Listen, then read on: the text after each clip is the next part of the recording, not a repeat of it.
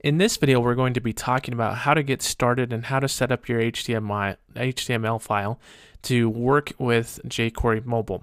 Now, you need to download the jQuery Mobile uh, content. You also need to download the jQuery file and attach those and link those to your HTML once you start setting it up.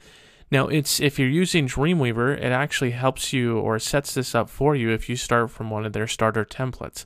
However, I've noticed that Dreamweaver doesn't keep up to date with the code uh, as quickly as as jQuery Mobile comes out with code.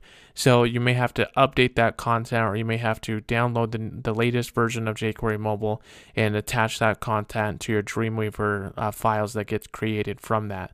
However, in this case, I'm going to show you how to get started from a regular HTML file that you've just set up and how to download that and how, how to download the jQuery uh, content as well and attach those, link those so you're ready to go.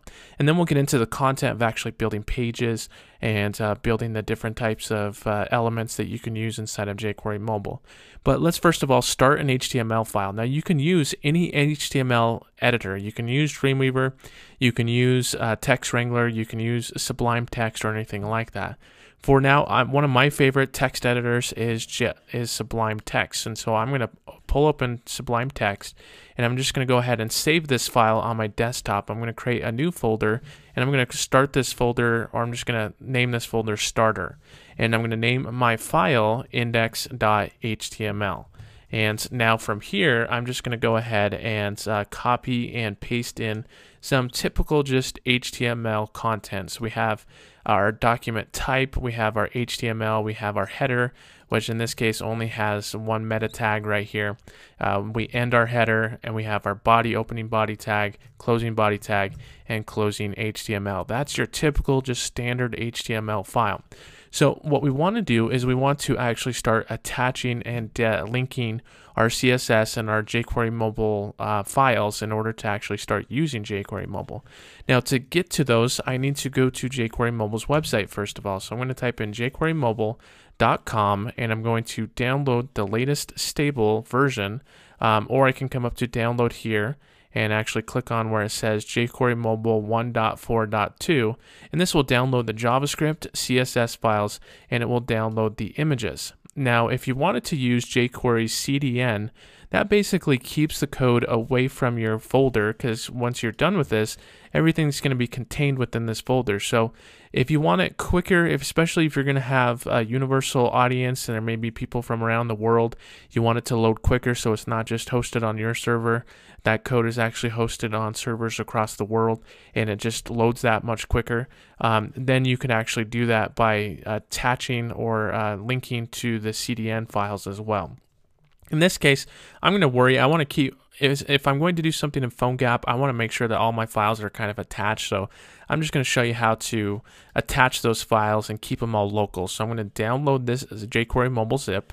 And uh, once it's downloaded, then I can start copying in the files that I need in order to um, in order to actually start building the basics of my jQuery mobile. Now I'm going to open up this HTML or this uh, folder, and let's go ahead and explore some of the files. So we have jQuery mobile uh, 1.4.2.css. Well, we also have uh, jQuery Mobile 1.4.2.js. Those are the JS files. Well, those are all those are good, and I can attach those. But if I wanted to load even a little bit quicker, then I would use the minified version, and that just gives me even that much quicker of a load, and it's a smaller file size as well. You'll notice that right here, the 1.4.2 uh, min.js, coming over to the right here is one uh, 196 kilobytes. Well, the unminified version is 453 kilobytes. So it's just even that much smaller. And so that's what the benefit of the minified version is. So I'm going to grab this CSS file and I'm going to grab this JavaScript file and I'm going to paste that inside of my starter folder. And that way I can attach to these files and I can use those files uh, inside of my application. Those are the only files that I actually need for now. If I'm going to get into theming, if I'm going to get into inline PNGs, icons, external PNG type of stuff, or SVGs, I may want to use those later. The only other image or the only other folder that I need to grab is this images folder. Now the reason why is because it does use, when you're using icons and you're using uh, buttons and you want to have icons within those buttons, it does use elements from the images. So I'm going to go ahead and just copy and paste that over. One other thing in the download is the demos folder. Now this demos folder, if I double click on the index.html file, is exactly what I showed you in a couple videos. They actually give you the code for this, so you can go in and you can manipulate it however you want.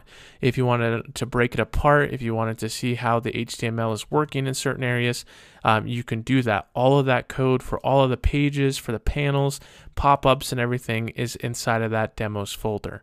For now, that's all I need. So I'm going to go ahead and I'm just going to delete the jQuery mobile uh, download here. But I do want to, because I'm going to at a later time be using jQuery commands. I'm going to be using uh, swipe events and tap events and everything like that.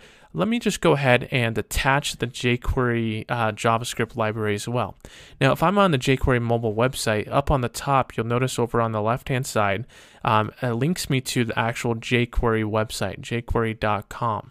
Now I can click on over on the right-hand side, download jQuery, and then let's go ahead and download. Um, for this, I mean, you can download whatever version you want. If you wanted to download the latest version, um, I'm going to download the compressed production jQuery uh, content. Now, sometimes if you click on it, if you're on Safari, it just tells you the code, or you can right click and click on download linked file.